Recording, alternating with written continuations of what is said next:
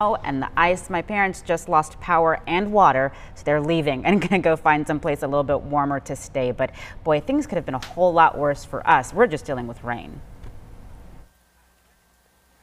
Yeah, that's true. We are really thankful that our temperatures yesterday got above freezing and have stayed above freezing for the most part when the rain has been falling. So we did have ice over the weekend, folks getting their power restored.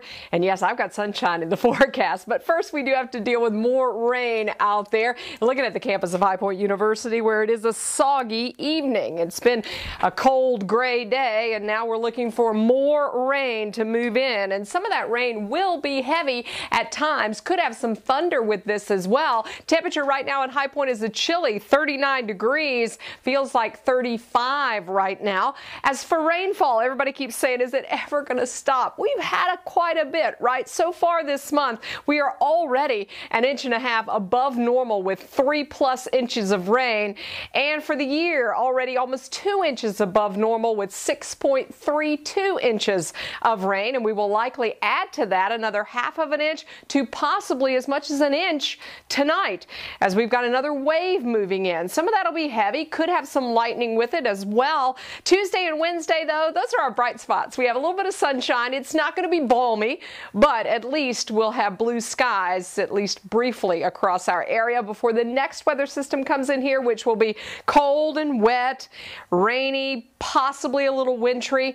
Right now, it's just rain. And notice the heavier rain that is starting to push in now between Winston-Salem and Lexington. So we'll continue to watch that moving northward. So there could be some heavy downpours tonight. And as I mentioned, rumble of thunder. Our temperatures, though, will hold pretty steady, if not go up by tomorrow morning. We're going to get a wind out of the south, which will help. Right now, the wind out of the east is making it feel really miserable out there with wind chill values below freezing in many communities but that south wind will help to keep us above freezing tonight. And you can see all of the heavy rain that is headed our way. I mentioned that chance of thunder. We are not under the threat for severe weather, just general thunderstorms. The severe weather risk is a little farther to our southeast and definitely down here to the south, where they are under a tornado watch over parts of Georgia and the panhandle of Florida.